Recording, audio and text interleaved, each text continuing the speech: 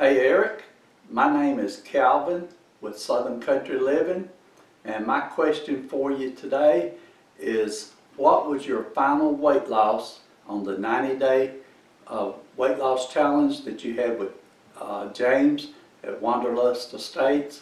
Uh, I did the weight loss challenge also and my total weight loss was 20.6 pounds.